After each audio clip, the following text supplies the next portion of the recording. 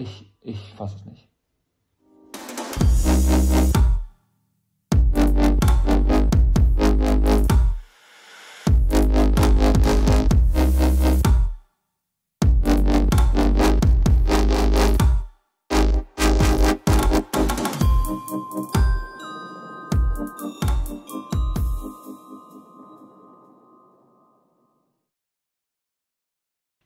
Guten Morgen, das ist Herr Krüger und Herr Krüger ist Chef vom NABU Deutschland und hat mit dem Schleswig-Holsteinischen Bauernverband mal ein Interview geführt. Ich finde es sehr abenteuerlich, was Herr Krüger hier sagt. Eigentlich schätze ich ihn wirklich sehr, ähm, weil er, glaube ich, ein sehr intelligenter Mensch ist, aber einige Aussagen hier müssen wir uns mal hinterfragen. Hört mal rein. Ein wesentlicher Punkt und ein aus Sicht der Landwirtschaft sicherlich der Hauptpunkt ist, ähm, dass der Fleischverzehr sich auf die Hälfte reduzieren muss. Der Fleischverzehr in Deutschland ist aktuell bei 55 Kilo pro Kopf und Jahr. Die Spanier haben 85 Kilo. Das heißt, wir sind schon wirklich weit runtergekommen und darum geht es mir auch gar nicht. Jeder soll das essen, was er mag. Aber ähm, mir geht es einfach darum, dass auf Gedeih und Verderb mit Unwahrheiten behauptet wird, wir müssen unbedingt weniger Fleisch essen. Obwohl, zeige ich euch gleich auch nochmal, die Uni Washington ganz klar widerlegt hat, dass ganz viele Krankheiten die angeblich von rotem Fleisch kommen, nicht davon herstammen. Da gibt es überhaupt keine Evidenz drüber. Aber lassen wir weiter rein. Und dass der Fleischverzehr sich vor allem auf Rindfleisch konzentrieren soll. Warum? Ja, das sind jetzt gleich zwei Sachen. Ja. Also der, der Grund für die Studie war, dass wir uns im letzten Jahr sehr geärgert haben über diese Diskussion, wo es plötzlich hieß nach dem russischen Einmarsch in der Ukraine, wow, jetzt können wir uns äh, Naturschutz, jetzt können wir uns Moorschutz und all diese Dinge in Deutschland gar nicht mehr leisten, weil ansonsten würden wir den Welthunger irgendwie steigern und wir müssten in Deutschland auch zusätzlich noch Lebensmittel einführen. Okay, das sind zwei Dinge. Lebensmittel einführen. Herr Krüger, Sie wissen ganz genau, dass wir einen Selbstversorgungsgrad bei Obst und Gemüse haben von um die 30 Prozent und weniger. Und wenn die Holländer jetzt wegbrechen mit über 30 Prozent, was da passieren soll, wo wir auch sehr viel Obst und Gemüse herbekommen, wo soll es herbekommen? Das ist eine Frage, die, auf die hätte ich gerne mal eine Antwort. Der nächste Punkt ist einfach, dass es sehr wohl so ist, wenn die Kornkammer der Welt mit der Ukraine und gerade auch äh, Russland wegbricht, auch der Dünger dort wegbricht, beziehungsweise nicht mehr gewährleistet ist, ist es schon ein Punkt, wenn jeder zehnte Mensch hungert, dass sie nicht so behaupten können, dass wir hier einfach auf Gedeih und Verderb stilllegen können und angeblich Naturschutz fahren können, weil wir produzieren hier auch ziemlich viel und auf einem sehr hohen Niveau, was eigentlich auch in ihrem Sinne sein soll, weil wir können Naturschutz und Artenschutz und Landwirtschaft miteinander vereinen. Das wissen Sie genau. Selbst das haben Sie in der Zukunftskommission Landwirtschaft mehrfach besprochen, dass das geht. Also das finde ich schon schäbig, jetzt hier genau den Spieß umzudrehen, was Sie uns ankreiden immer, dass wir angeblich den Hunger ausnutzen würden. Es ist abenteuerlich, wenn wir 10% der europäischen Agrarfläche einfach aus der Produktion rausnehmen. 10% Europas, das weiß auch jeder Mensch, der halbwegs knusper ist, dass dann sehr viel fehlen wird. Und wir uns woanders bedienen müssen, gerade auch beim Obst und Gemüse, wenn der wegbricht und auch beim Fleisch. Das ist eigentlich auch jedem klar. Aber hören wir erstmal an, weil jetzt kommt die Trog-Teller-Diskussion. Hören wir nochmal rein. So, und wir haben jetzt nachgewiesen, dass dem nicht so ist. Wir haben eine Flächenreserve und das sind die 60 Prozent der Landwirtschaftsflächen, die momentan für Futtermittel genutzt werden. Das ist das gesamte Grünland und ein gutes Drittel des äh, Ackerlandes in Deutschland.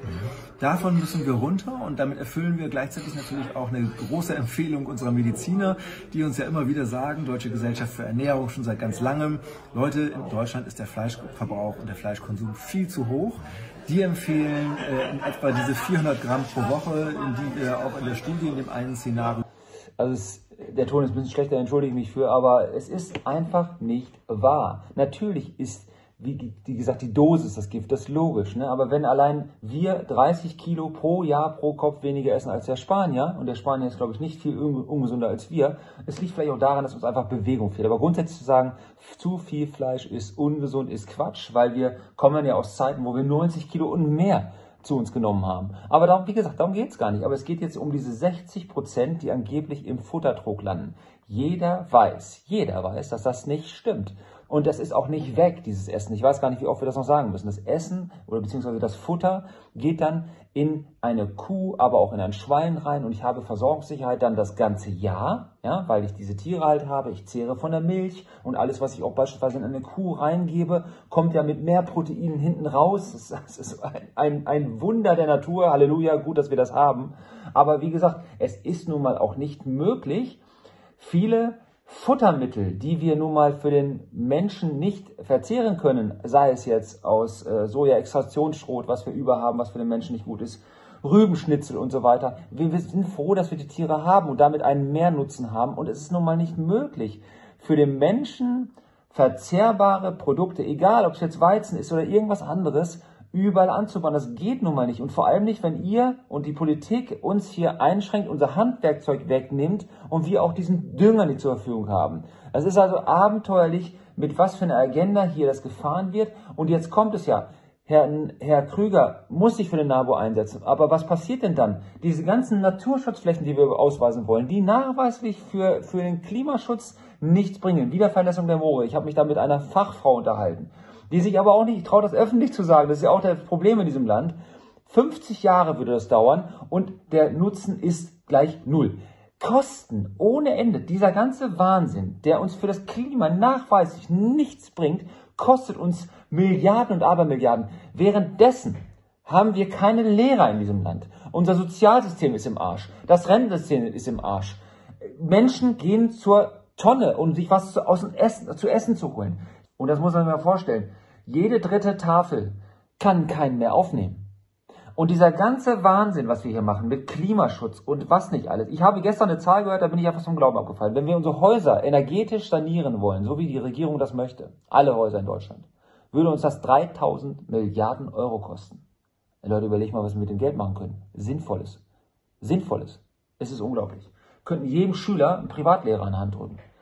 Da könnten wir dann wirklich in Technik investieren, in, in, Forschung investieren, dass wir halt auch wirklich runterkommen von dem, ja, von dem CO2-Ausstoß durch die Verbrennung von Öl, Gas und so weiter und Kohle. Ja, dann einfach mal in so eine Technik, wenn wir das wollen würden. Nein, wollen wir ja gar nicht.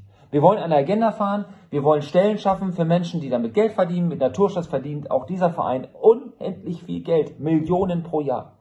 Aber auch andere Lobbyverbände, ja, sei es Windenergie, Solarenergie, Leute, ey, ich kann das alles nicht glauben und wir fallen auf diesen ganzen Irrsinn rein.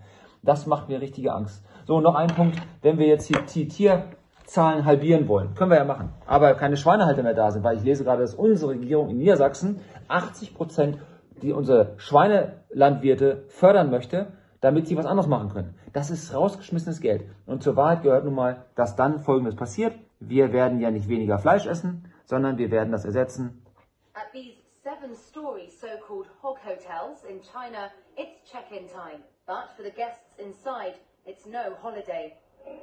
This is high-rise pig farming at its most intense. Buildings with lifts and a thousand mhm. pigs per floor. Das wird passieren. Und das ist mit allem so, was wir in Deutschland nicht mehr selbst produzieren, nicht mehr selbst in die Hand haben, wird woanders unter völlig schäbigen Sozialstandards, Umweltstandards und ich begreife es nicht. Wir haben keinen Zugriff mehr darauf. Wir begehen uns in, begeben uns in Abhängigkeiten aus Ländern, die uns nicht immer wohlgesonnen sind. Und wie man so dumm sein kann als Gesellschaft, frage ich mich immer wieder aufs Neue. Aber jetzt Wochenende, ich wünsche euch ein schönes Wochenende. Horido, bis bald.